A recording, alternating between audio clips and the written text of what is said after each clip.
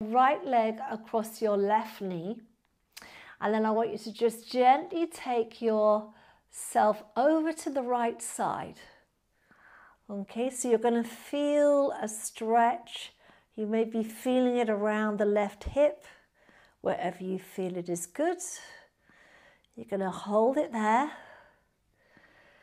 Take a deep breath in, and as you breathe out, pull the tummy in and bring that knee up. Now we're going to go the other way.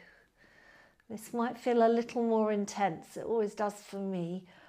Oh yes, it's a lovely deep stretch. You should feel this through the piriformis, so into the back of the hip. Take a deep breath in, breathing out and coming up. Should do that once more each side. So over to your right. Take a breath in. Breathe out,